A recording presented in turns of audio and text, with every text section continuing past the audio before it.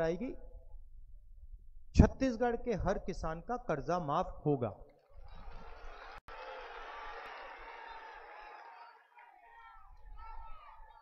दूसरी बात, अभी मैंने खत्म नहीं किया।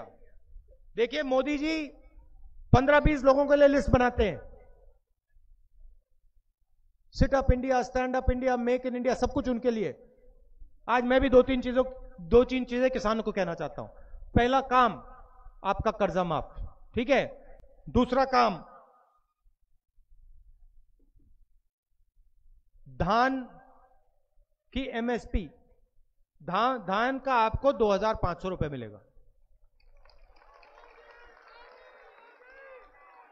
तीसरी बात तीसरी बात, ये जो 15 क्विंटल का लिमिट है, इस 15 क्विंटल के लिमिट को हम खत्म कर देंगे।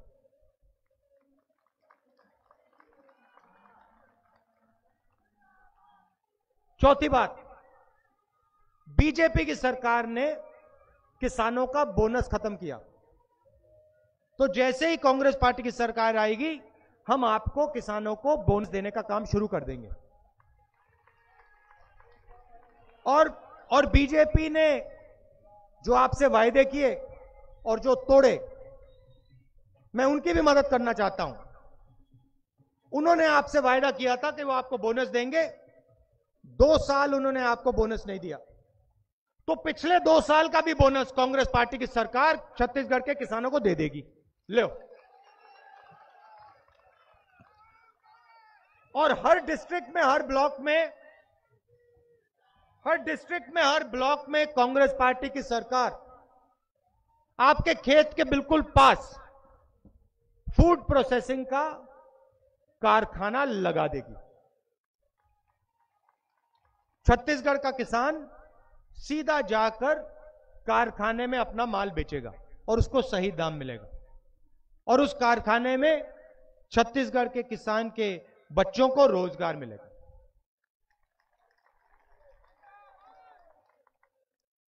आखिरी बात, रोज़गार की। देश के सामने दो समस्याएँ हैं। पहली समस्या, किसान, दूसरी समस्या, युवाओं को रोज़गार। चाइना की सरकार 24 घंटे में पचास हज़ार युवाओं को रोज़गार देती है। नरेंद्र मोदी की सरकार उसी 24 घंटे में पूरे हिंदुस्तान में सिर्फ़ 450 युवाओं को रोज़गार दे पाती है। उन्होंने मेक इन इंडिया की बात की, स्टार्टअप इंडिया की बात की, बुलेट ट्रेन की बात की, पता नहीं क्या क्या बोल दिया। मगर सच्चाई है 20 साल से सबसे ज़्यादा बेरोजगारी हिंदुस्तान में नरेंद्र मोदी जी के अंडर है। तो हमारा चीफ मिनिस्टर यहाँ आएगा, रोज़गार के लिए वो दो तीन चीज़ें करेगा। सबसे पहले मैंने आपको बताया, हर डिस्ट्रिक्ट में फ़ूड प्रोसेसिंग प्लांट लगाएगा। और खेत को शहर की इकोनॉमी से जोड़ेगा। दूसरा काम 24 घंटे में से 18 घंटे वो युवाओं को रोज़गार देने में लगाएगा। साठ हज़ार टीचर के पोस्ट खाली हैं, सरकारी। तेरह हज़ार लेक्चर के पोस्ट खाली हैं। दो हज़ार स्कूल ऐसे हैं जिनमें सिर्फ़ एक टीचर है और तीन हज़ार आदिवासी स्कूल बंद हो गए हैं। ये जो पोस्ट है, सरकारी पोस्ट हैं इनको भरने का काम कांग्रेस पार्टी का चीफ मिनिस्टर शुरू करेगा और जल्दी से जल्दी इन पोस्ट को भर देगा। और ये जो नया फ़ैशन बना है बीजेपी की सरकारों में, आउटसोर्सिंग का, कि आपको रोज़गार नहीं देंगे और पूरा का पूरा फ़ायदा आउटसोर्स करके अपने लोगों को दे देंगे, बीजेपी के संगठन को ले देंगे, दे देंगे, ये आउटसोर्सिंग कांग्रेस पार्टी बंद कर देगी। और जो आपका है। देखिए, आज छत्तीसगढ़ में आप शिक्षा चाहते हो तो आपको प्राइवेट कॉलेज में जाना है। बच्चों को प्राइवेट कॉलेज में जाना पड़ता है। दस पंद्रह लाख रुपए पहले दो, फिर इंजीनियर बनो, डॉक्टर बनो, लॉयर बनो। कोई बीमार होता है, वही कहानी। सारे के सारे अस्पताल प्राइवेट हैं। एक्सरे की ज़रूरत दस पंद्रह हज़ार रुपए। इलाज की ज़रूरत, ऑपरेशन, लाखों रुपए निकालो। कांग्रेस पार्टी आएगी तो टॉप क्वालिटी के सरकारी अस्पताल और टॉप क्वालिटी के सरकारी यूनिवर्सिटी और कॉलेजेस हम खोलेंगे। और इस इनमें इनमें आपको कम से कम पैसे देकर अपने बच्चों की शिक्षा और अपना स्वास्थ्य मिलेगा। यह करना मुश्किल नहीं है। सीधी सी बात है। या आप अंबानी को तीस हज़ार करोड़ रुपए दो, या फिर आप छत्तीसगढ़ के जनता को स्कूल और कॉलेज दो। चुनना पड़ेगा। मोदी जी, भ्रष्टाचार की बात क्यों नहीं करते, मैं आपको बताता हूँ। बोल नहीं पाएँगे। स्टेज से आज नरेंद्र मोदी यह नहीं बोल सकता है कि भ्रष्टाचार के खिलाफ मैं खड़ा हूँ। मैं आपको बताता हूँ क्यों। यूपीए की सरकार थी, वायुसेना को 126 हवाई जहाजों की ज़रूरत। एयरफोर्स ने पूरी रिसर्च की अलग अलग कंपनियों से बात की और एयरफोर्स ने बोला कि हमें 126 हवाई जहाज़ चाहिए, फ्रांस के हवाई जहाज़ चाहिए, राफेल नाम है, हमें यह हवाई जहाज़ चाहिए। यूपीए सरकार ने कहा कि हाँ भैया आपने हवाई जहाज़ चुना है, मगर हमारी शर्त है कि हिंदुस्तान एरोनॉटिकल लिमिटेड सरकारी कंपनी इस हवाई जहाज़ को बनाएगी। हवाई जहाज़ का दाम 526 करोड़ रुपए प्रति हवाई जहाज़ यूके, यूपीए की सरकार गई, मोदी जी आए, पहला काम उनका, फ्रांस गए। किसके साथ? अनिल अंबानी के साथ। पता लगा लो नरेंद्र मोदी के डेलीगेशन में अनिल अंबानी बैठा हुआ था। दोनों एक साथ फ्रांस गए। 126 हवाई जहाज़ के बजाय 36 हवाई जहाज़ खरीदे। और जो हवाई जहाज़ 526 करोड़ का था, उसे नरेंद्र मोदी जी ने 1600 करोड़ रुपए में खरीदा। भाई और बहनों, नरेंद्र मोदी जी ने सरकारी कंपनी से डील छीनी। हिंदुस्तान एरोनॉटिकल लिमिटेड 70 साल से हवाई जहाज़ बना रही कारगिल में जो बम गिराए थे पाकिस्तान के ऊपर, पाकिस्तानी सेना के ऊपर, हिंदुस्तान एरोनॉटिकल लिमिटेड के हवाई जहाज़ ने गिराए। एक रुपया कर्जा नहीं है उनपे उल्टा वो सरकार को पैसा देते हैं। तीन हज़ार करोड़ रुपए उन्होंने हिंदुस्तान की सरकार को दिया। सरकारी कंपनी ने। नरेंद्र मोदी जी ने उनसे कॉन्ट्रैक्ट छीना और अनिल अंबानी को दिया। अनिल अंबानी ने ज़िंदगी में एक हवाई जहाज़ नहीं बनाया। पैंतालीस हज़ार करोड़ रुपए का कर्जा है, सरकारी बैंक से पैसा लिया उसने। भाइयों और बहनों, कॉन्ट्रैक्ट मिलने के दस दिन पहले, दस दिन पहले अनिल अंबानी ने कंपनी खोली, जिसको कॉन्ट्रैक्ट मिला। एयरफोर्स से नहीं पूछा। डिफेंस मिनिस्टर से नहीं पूछा। नरेंद्र मोदी ने स्वयं यह निर्णय लिया। इसीलिए नरेंद्र मोदी आज अपने भाषण में भ्रष्टाचार की बात नहीं कर सकता है। चौकीदार! और इसीलिए अब वो ना रोज़गार की बात करते हैं, ना भ्रष्टाचार की बात करते हैं ना किसानों की बात करते हैं। ये ये सच्चाई है। एक भी भाषण में फ्रांस के राष्ट्रपति ने कहा, देखो, राहुल गांधी ने नहीं कहा, फ्रांस के राष्ट्रपति ने कहा, एक एक एक मिनट एक मिनट भैया। फ्रा, भैया, ठहर जाओ डिस्टर्ब मत करो।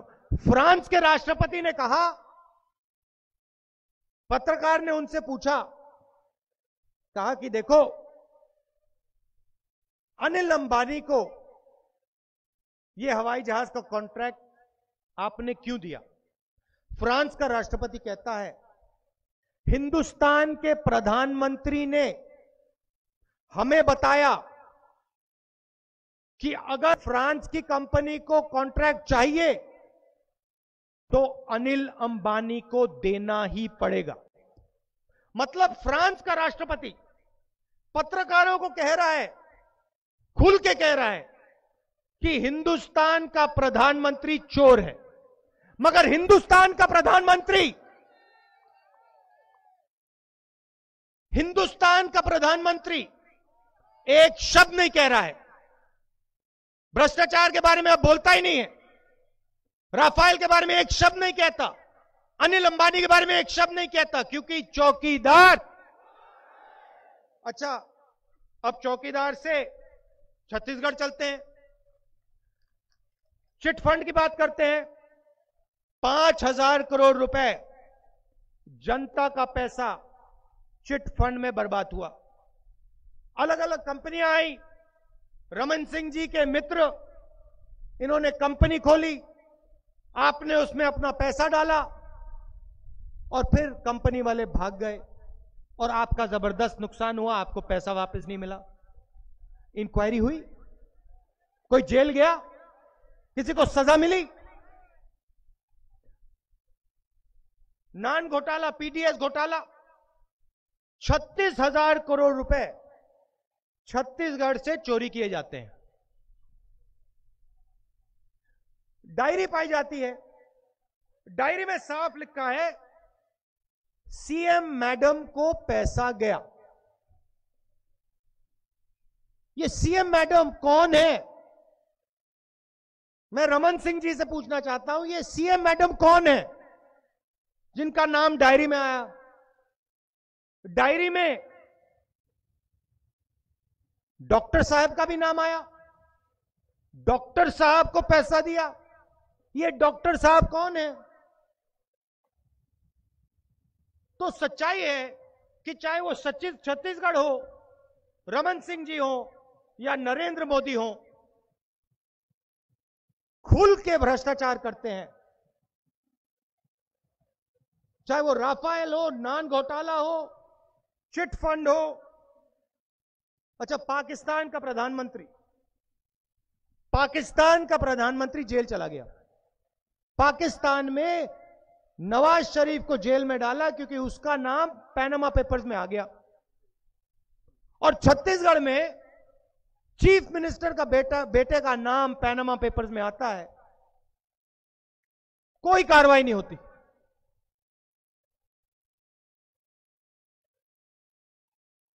कांग्रेस पार्टी की सरकार आएगी, कार्रवाई होगी।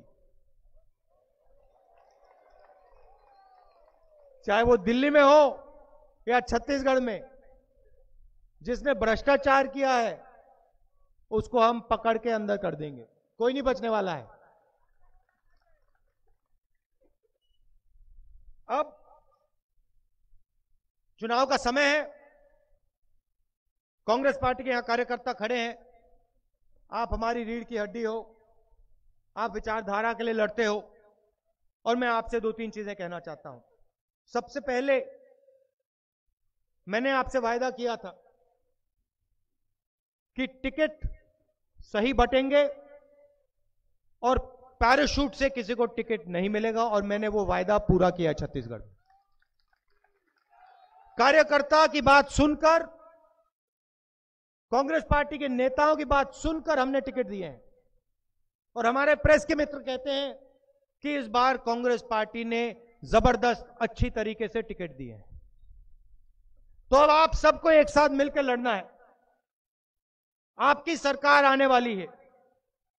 किसानों की, मजदूरों की, गरीब जनता की सरकार होगी। मगर कांग्रेस पार्टी के कार्यकर्ता की भी सरकार होगी। और गरीबों के लिए और कांग्रेस के कार्यकर्ताओं के लिए हमारे चीफ मिनिस्टर, मंत्रियों, एमएलए और एमपी के दरवाजे खुले मिलेंगे। और जो जनता चाहेगी। मोदी जी जहाँ भी जाते हैं, कहते हैं, मन की बात करते हैं आपसे। मन की बात, जहाँ भी जाएँगे, मन की बात। हम आपसे अपनी मन की बात नहीं करना चाहते हैं। हम आपकी मन की बात सुनकर काम करना चाहते हैं। आप हमें बताओ, चाहे वो किसान हो, छोटा दुकानदार हो, दलित आदिवासी मजदूर, युवा, महिलाएँ जो भी आप हमसे चाहते हो, आप हमें बताओ, हम सुनकर आपके लिए काम करेंगे। ये मैं आपको कहना चाहता हूँ। मैं आपसे ये कहता हूँ कि जो आपने स्टेट से सुन लिया,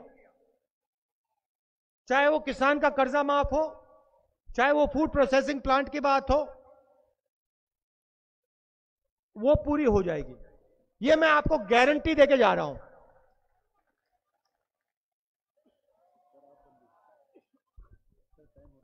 अच्छा ठीक है आप आप सबका दिल से बहुत बहुत धन्यवाद। नमस्कार जय हिंद।